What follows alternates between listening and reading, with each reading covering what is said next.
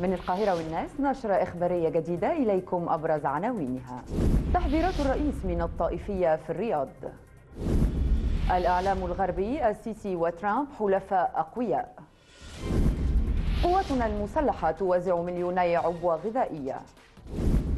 رحيل شريف حتاتة أبرز مفكري اليسار المصري. وإليكم تفاصيل النشرة. استراتيجية متكاملة لمواجهة الإرهاب. هكذا وصفت الصحافة الأجنبية والعربية خطاب الرئيس عبد الفتاح السيسي في القمة الإسلامية الأمريكية التي استضافتها الرياض خاصة عندما تحدث دون مواربة عن ضرورة التصدي للدول الراعية للإرهاب. مؤكدا أن الإرهابي ليس فقط من يحمل السلاح وإنما من يموله ويوفر له ملاذا آمنا ويمنحه الغطاء السياسي. بالإضافة إلى تأكيدات الرئيس على ضرورة عدم جر المنطقة لصراعات طائفية. قائلا ليس بخاف عليكم أننا واجهنا في الأعوام الأخيرة محاولات ممنهجة وممولة تمويلا واسعا لتفكيك مؤسسات دولنا وإغراق المنطقة في فراغ مدمر وفر البيئة المثالية لظهور التنظيمات الإرهابية واستنزاف شعوبنا في صراعات طائفية وعرقية. هذا واهتمت العديد من وسائل الإعلام بتفاصيل القمة التي جمعت الرئيس السيسي مع نظيره الأمريكي دونالد ترامب بالعاصمة السعودية مشيرة إلى أن الزعيمين جمعتهما علاقة ود وصداقة في وقت قصير.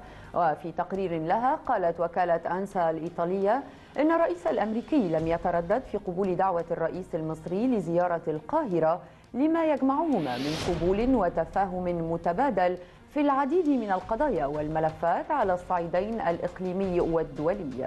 فيما قالت قناة راي في تعليق لها على قمة الرياض إن السيسي وترامب تبادل المجاملات الاجتماعية وناقش كذلك العديد من القضايا قبل انطلاق فعاليات القمة للاتفاق على الخطوط العريضة وأبرز الملفات وفي مقدمتها الحرب على الإرهاب مشيرة إلى أنهما حلفاء أقوياء يجمعهما التوافق والود. 240 مليار جنيه مخصصات الدعم في الموازنة الجديدة. هذا ما كشف عنه شريف إسماعيل رئيس الوزراء خلال افتتاح معرض أهلا رمضان بقاعة المؤتمرات مشيرا إلى أن هناك ما يقرب من 70 مليار جنيه لدعم السلع الغذائية. وموضحا أن معارض أهلا رمضان تصل ل 122 معرضا. والبيع فيها بسعر التكلفة وأن سياسة الحكومة هي الاستمرار في توفير السلع للمواطن بأسعار مناسبة متوقعا أن يشهد السوق انخفاضا تدريجيا في أسعار السلع والمنتجات.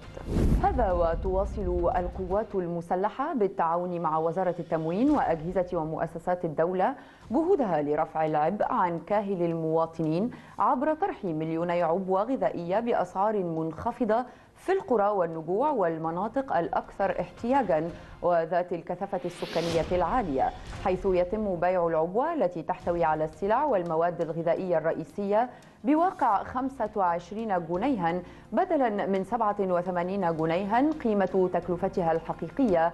وهي المرحلة قبل الأخيرة من إجمالي 8 ملايين عبوة تموينية تم تجهيزها وتوزيعها على دفعات بمختلف المحافظات. زيادة في أعداد السائحين فقد أعلن الجهاز المركزي للتعبئة العامة والإحصاء أن عدد السائحين الوافدين من كافة دول العالم بلغ خلال شهر مارس الماضي أكثر من 650 ألف سائح بنسبة زيادة قدرها 48.6% على الشهر السابق. وقال جهاز الإحصاء أن منطقة أوروبا الغربية سجلت أكثر المناطق إفادة للسائحين فيما سجلت أوكرانيا أكثر الدول إفادة للسائحين خلال شهر مارس. رحيل أبرز مفكري وكتاب اليسار المصري. فقد رحل عن عالمنا الدكتور شريف حتاتة عن عمر يناهز 94 عاما وهو طبيب وكاتب وروائي. شغل موقع عضو مجلس أمناء حزب التحالف الشعبي الاشتراكي وله العديد من الأعمال الأدبية والسياسية وأدب الرحلات. ومن أبرز كتاباته فكر جديد في اليسار والعولمة والإسلام السياسي وفكر اليسار وعولمة رأس المال. ومن أعماله الروائية العين ذات الجفن المعدني والهزيمة والشبكة وقصة حب عصرية ونبض الأشياء الضائعة وعمق البحر وعطر البرتقال الأخضر.